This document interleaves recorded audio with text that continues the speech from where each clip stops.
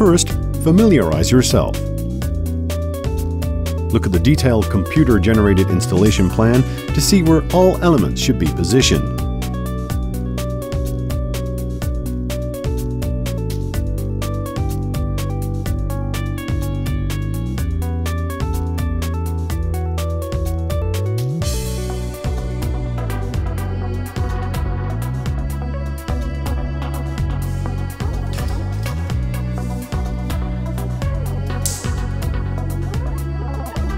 Position of the thermostat approximately 5 feet above the subfloor, protected from direct sunlight and drafts.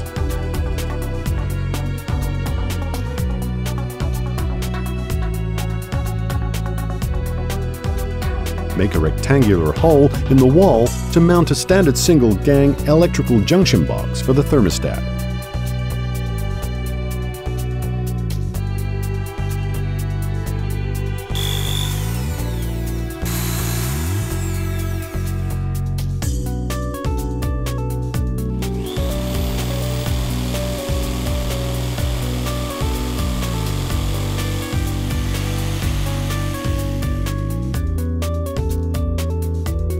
Drill a hole as close as possible to the subfloor in the sill plate to fish the cold leads up the wall and into the junction box.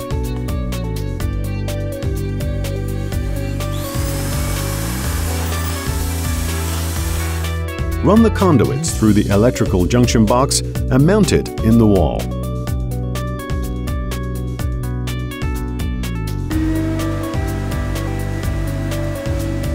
Clean the subfloor. Make sure the subfloor is free from dust. Unwrap the heating cable and perform an insulation resistance test. Set your multimeter to the highest range. Connect the ground wire to the black lead and both power wires to the red lead of the multimeter. Make sure the meter reads open or OL. Record these readings on the commissioning record.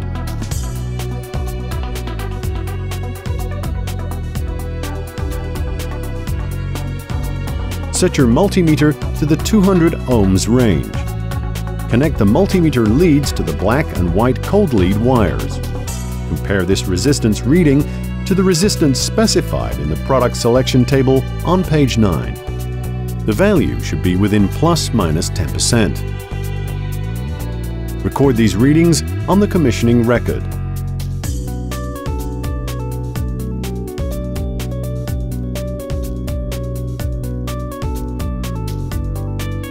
Set your multimeter to the 200K ohms range.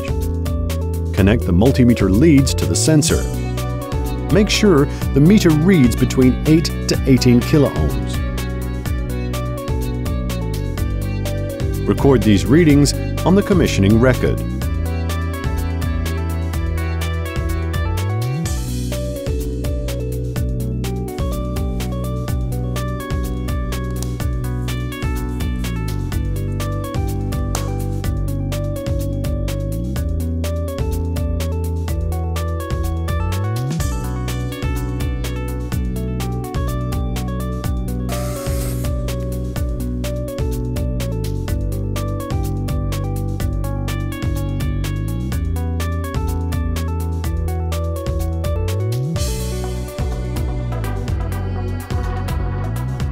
Position the cold lead of the cable as close as possible to the wall near the electrical junction box. Pull the cold lead up the wall and from that location just underneath the junction box where the thermostat will be positioned, begin to affix the CeraPro heating cable around the guides at 3-inch intervals. If the cold lead is higher than the cable, you may need to create a notch in the floor to allow the splice to lay flat under the floor surface. Start the layout so that critical areas such as toe kicks in front of a sink will have tight coverage.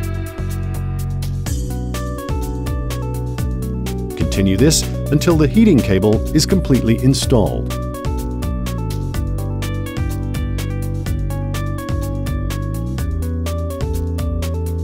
Center the floor sensor between two cable runs.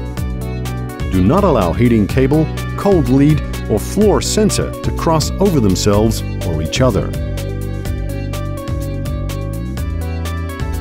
Run the floor sensor inside the wall to the electrical junction box location.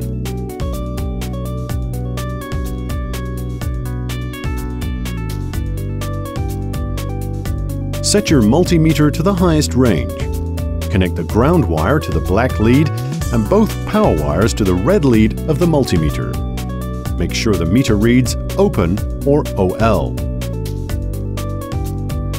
Record these readings on the commissioning record.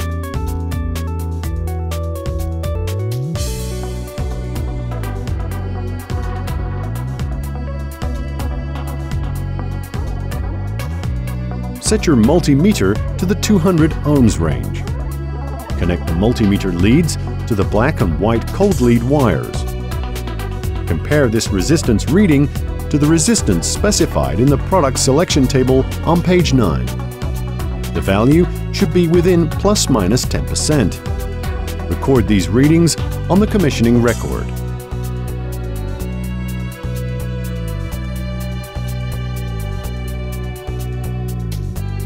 Set your multimeter to the 200K ohms range.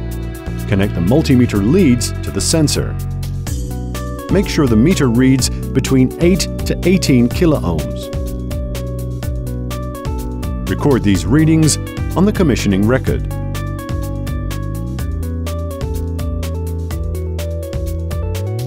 We suggest that you take a picture of the layout prior to pouring the mortar for future reference.